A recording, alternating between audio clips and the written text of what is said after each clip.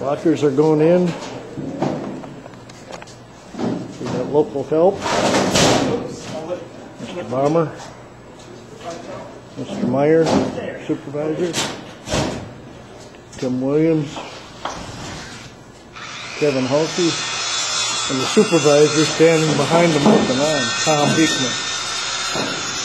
And the green adds a little, green adds a little uh, color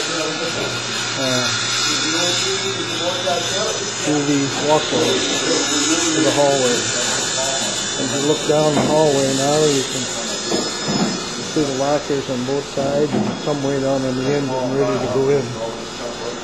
Out here we have Tom Juice and Steve More blocks! making some cuts. Steve just said, I can't find my mark, so I can't make my cut. This is Saturday morning. we saw them putting in the lockers.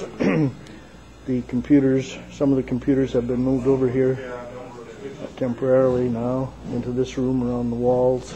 And this would be, here's where the lockers have been put together also.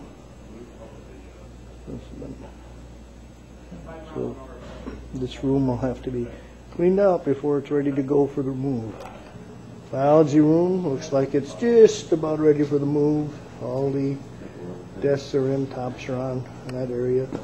Uh, ca- when can we pick? A little bit to do on this side. Sorry, putting down the countertops. And the teacher's countertop isn't quite, isn't here yet, so we have boards on top.